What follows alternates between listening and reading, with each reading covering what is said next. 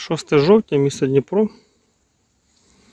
І це до вашої уваги така вогняна янтарна ягода на одну сторону. От, і на іншу сторону. Ну, на кущеві тут десь кілограмів нехай до 30 максимум. От, але перевага цієї форми це те, що вона на кущах дуже хорошо зберігається, хоча має середньо-ранні терміни дозрівання. Назва її суперляля.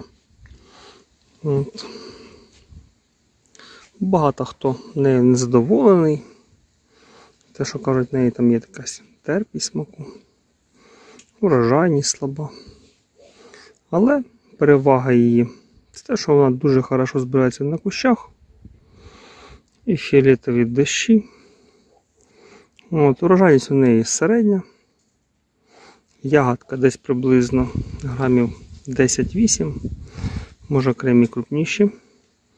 Ну, знову ж таки, це кущ після морозів на відновленні, скажімо так. От, Вона дозріла ще 2 тижні тому точно, але дуже хорошо збирається на кущах. І тому ми не спішимо її різати. От на 6 жовтня, я думаю, що вже пора цю красу зрізати, вивести на базар. Значить, Цукристість на сьогодні дуже висока. Консистенція в неї желейна. От, Ягода не тріщить, шкірка з'їдається е, без особливого напрягу. От. За два тижні ягода не втратила пружності. Ягода від такої насичено червоної ягоди. З янтарним, сказав, сказав би відтінком до приблизно такої ягоди більш світлішої. От Якщо трапляються пошкоджені ягоди, то вони просто засихають і все, нічого такого немає. А в цілому виноград дуже хороший. Вон поданіжка вже визріла хорошо.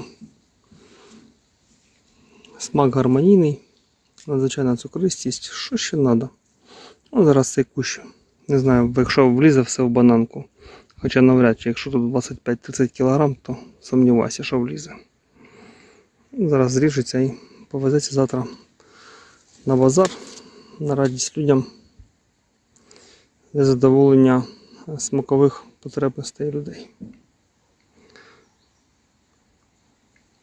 Селекція голуба під названою під назвою Супер Ляля.